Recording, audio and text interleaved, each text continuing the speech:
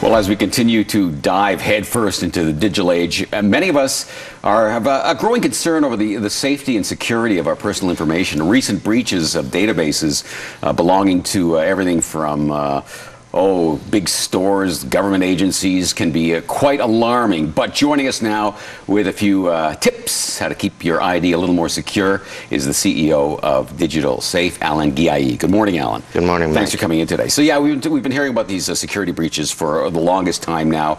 Uh, they're they're pretty much everywhere. How much of a concern is this to the the common person? It's a very big concern because we all use electronic devices. We all store uh, data. We use passwords to go to the net for anything from going to our gym membership portal all the way to e-banking. So it is important to protect that. Everybody's concerned. Okay, so some of these included Target. There was this, this big breach with Target, uh, Russian hackers stealing a billion uh, password and username combinations. Technically, how does this happen? How do they get away with this? Well, what happened is uh, they enter our our breach of security. So it starts at the at a big level, it starts with the Wi-Fi networks that are unsecure, and it goes into hacking into computer databases. And those Russian uh, hackers that hacked 1.2 billion passwords already are using some of those passwords, we feel, because there's been other breaches, um, sort of like a side effect of that that's starting to happen. So what, what tools are they using that, that, allows them to be able to pull off these heists, as it were? So for example, what they do is they, they use sophisticated tools to breach into unprotected Wi-Fi networks. So if you're in a public space and you will use your phone and log into your e-banking on a free Wi-Fi, they have a way to breach that network with sophisticated equipment and really get into all your uh, all your passwords as you log in. That's, that's one very sophisticated way to do it. Another thing is they would breach into data centers. Uh, that happens in Canada and the US a lot.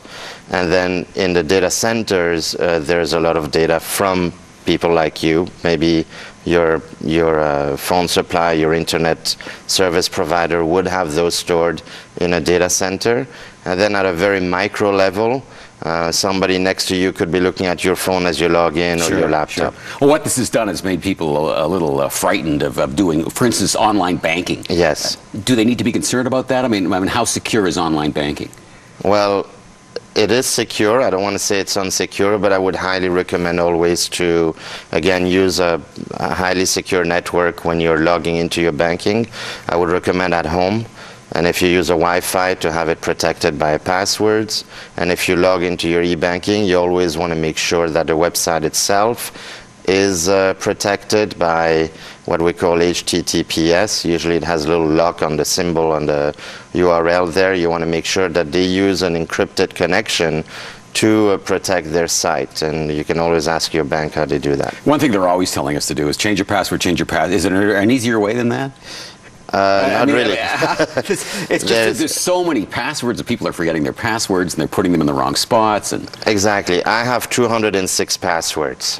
What? So I, I do. I can show it to you on my phone. So what I do is I use passwords for everything from my hotel. Uh, uh, mileage and airline mileage all the way to my banking, any website I go to, whether it's social media or services. So what I recommend people do is use a password manager. Um, what a password manager does, it lets you either create complex passwords, store them, and manage them. So it's basically a manager for all these passwords. A password needs to be complex, so you cannot use the same password for uh, everything you sure, have. Sure. Do you need a password to get into the password manager? You do. well, how do you manage that? But I, that's, that's only one password to remember which I would not recommend anyone to give to. So a lot of people, they, they store passwords on in their computer. I've heard in the computer, on a piece of paper, on an Excel sheet sometime. That's if you're really sophisticated about it or on your phone? Well, if you store passwords on a device and that device is lost or hacked, because people now hack phones as well, then you have your entire life uh, that you're giving away to these Russians, for example.